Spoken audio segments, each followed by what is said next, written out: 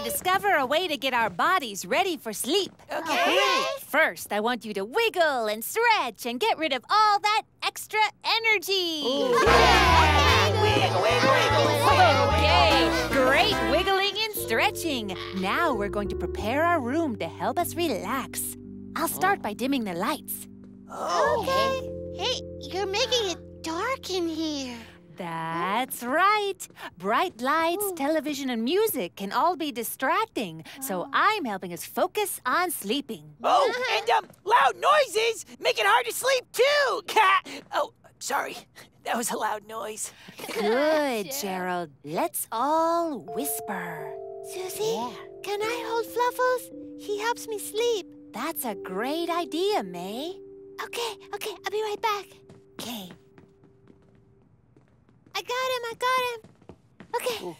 Okay, everybody now take in a deep breath. And now let it go.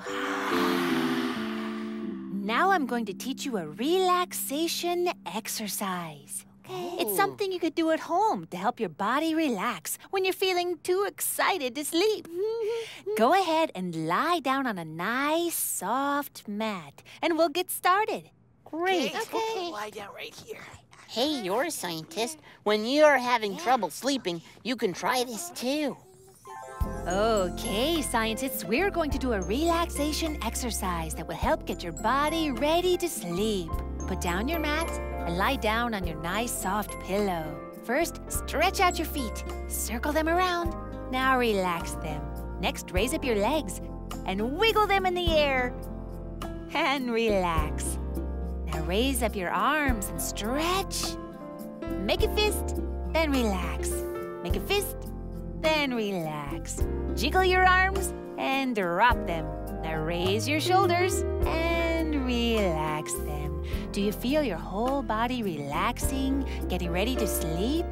Go ahead and close your eyes and take a deep breath. Put your hands on your stomach and breathe in and breathe out. Breathe in, breathe out. Breathe in, breathe out. Now you're ready to sleep. Very nice.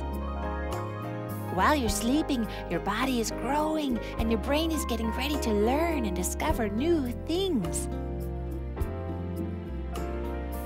And after you've had a nice nap, you'll have lots of energy to investigate, explore, and play.